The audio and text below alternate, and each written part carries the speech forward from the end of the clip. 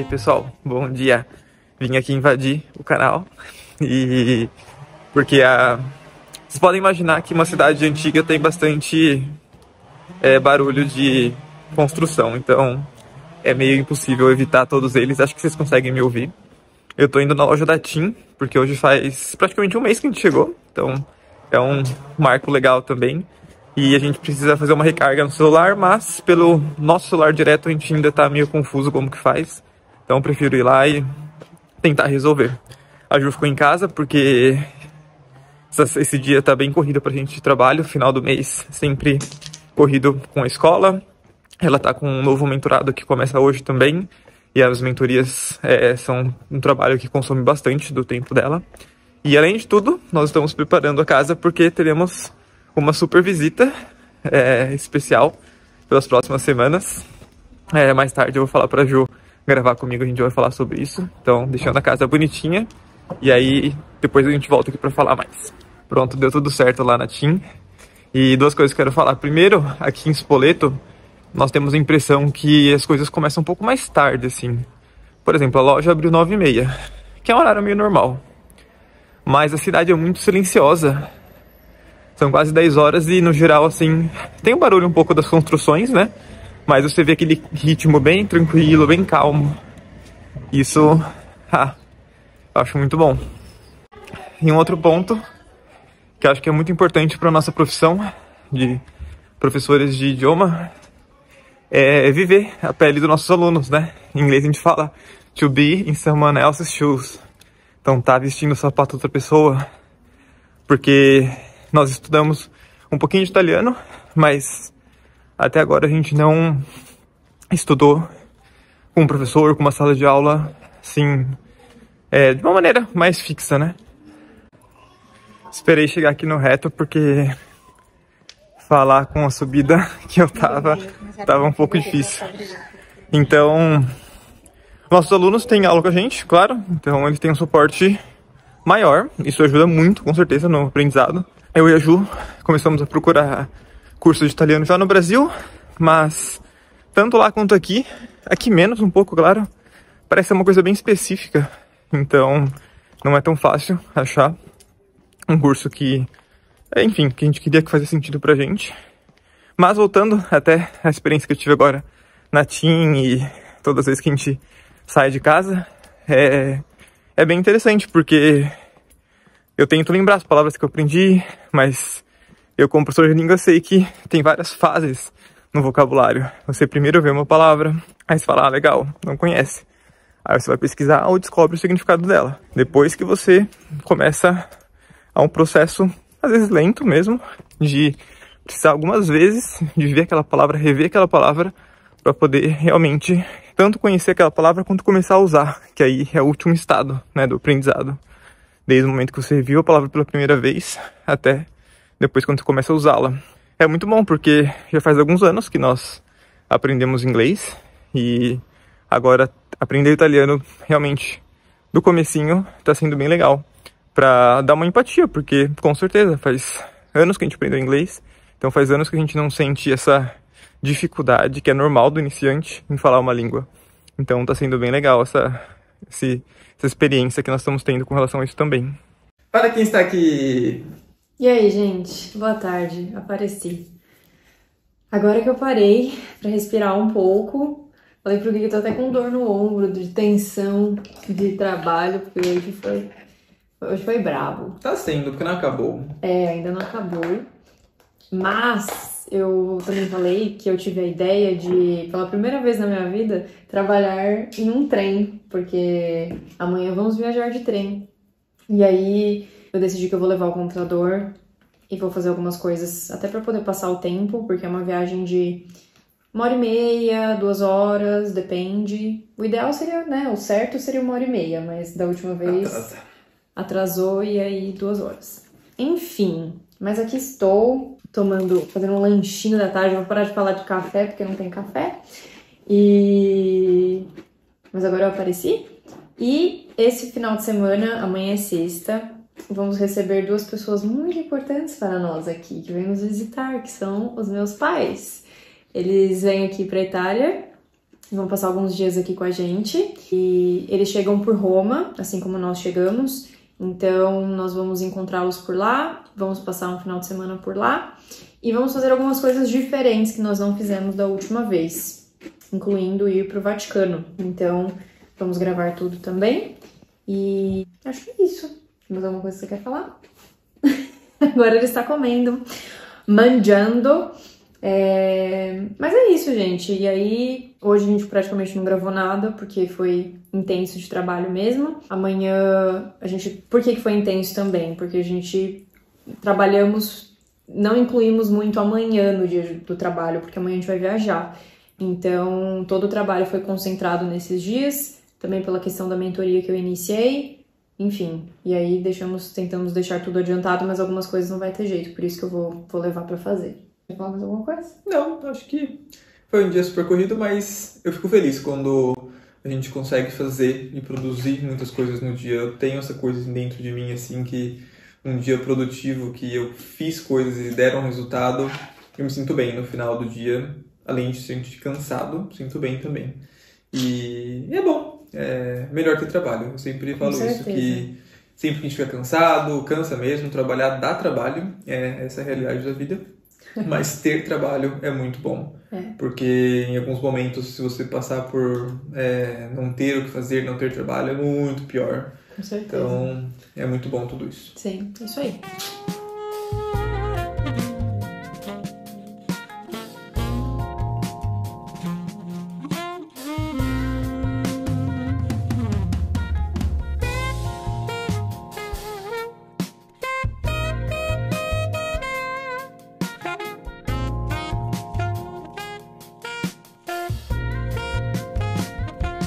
Buongiorno a tutti. Buongiorno. Hoje madrugamos para pegar o trem. O trem é às 8h15. Então a gente acordou às 6 da manhã para fazer tudo direitinho. Estamos aqui agora na escada rolante indo. E estamos vendo coisas que nós não vemos normalmente por conta do horário, né? Como é lindo, ainda mais hoje que o dia tá bem aberto. Muita coisa linda para ver. Sim, bem legal.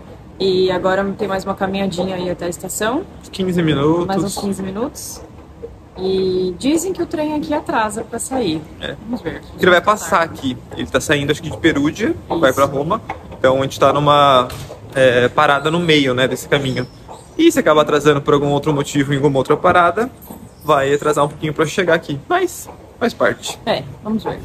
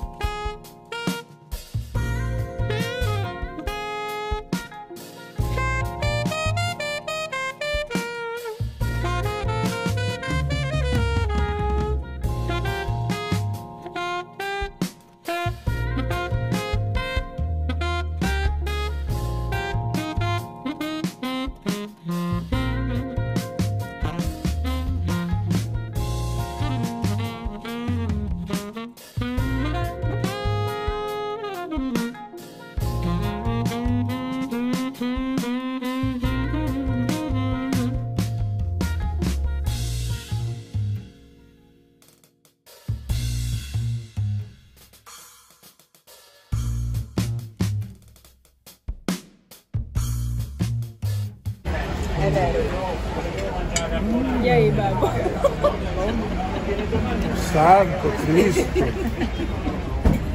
Quero só ver. Hoje eu sou ótimo.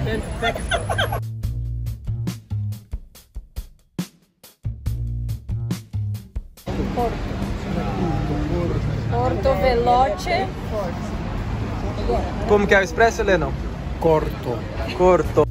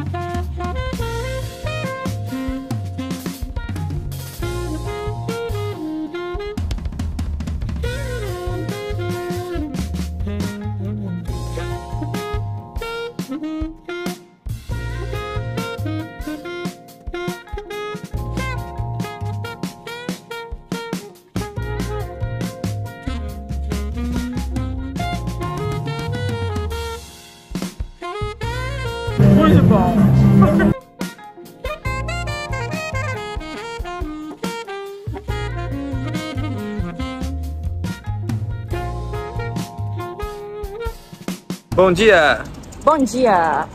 Estamos em Roma, sábado de manhã, e vamos para o Vaticano. Uma coisa que a gente Agora. não fez da outra vez. Isso. E aí dessa vez vamos. Já E pegar ônibus agora, vamos pegar dois ônibus e estamos indo para lá. Visitar um outro país. É isso aí, é verdade. Vaticano, outro país dentro da Itália. A gente vai tentar até carimbar o nosso passaporte É lá. isso aí, depois a gente mostra.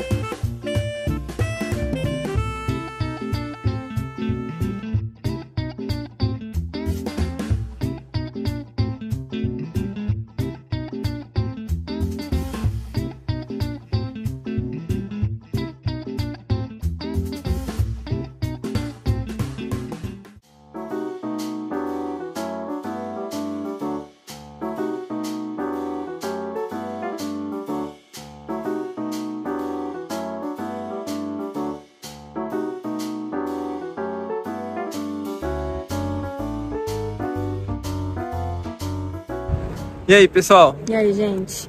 Não demos muita sorte hoje, porque a basílica tá fechada e a gente não vai conseguir entrar para visitar por conta de um evento que vai ter. Sínodo chama. O Papa vai, enfim, se pronunciar ali e acho que só às 5 da tarde, mas tá uma loucura ali. pra- Tem uma expectativa de receber hoje em torno de 3 mil pessoas. Nós tentamos ficar na fila pra entrar e assistir, mas impossível, tá uma loucura, não tem nenhum tipo de organização. E aí não pode entrar com água. A gente trouxe o um negócio para segurar o celular e não pode entrar também, enfim. Então é. Isso, Esse sínodo é um evento, não sei se é anual, mas é um evento basicamente que as principais lideranças católicas do mundo vêm para cá, como se fosse uma conferência, né, entre eles lá. E por isso que tá tão movimentado e tudo mais. É isso.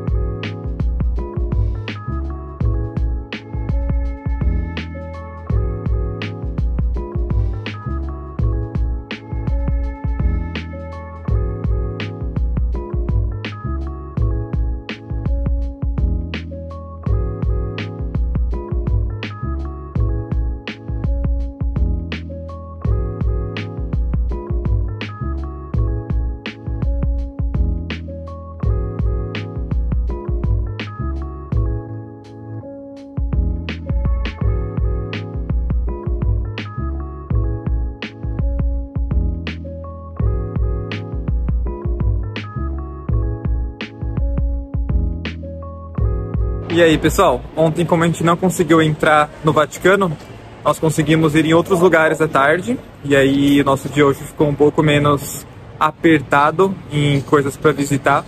E a gente deixou as malas no mesmo lugar que da última vez, um mês atrás. E nada como saber as coisas, né? Agora a gente já sabe que se for pelo lado da fila, usar o serviço express, a gente paga um pouquinho a mais, mas não tem que ficar correndo para buscar a mala depois e não pega a fila. Então a gente gastou 15 minutos no máximo para deixar a mala, enquanto que se pegasse a fila normal, como a gente fez no mês passado, a gente gastou uma hora e pouco. E aí agora a gente ficou com mais tempo livre para curtir o dia. A gente veio aqui na, na Maggiore primeiro e mais tarde a gente vai no Coliseu, onde a gente, por sorte, de novo, pegou o primeiro domingo do mês e não tem pagamento da entrada.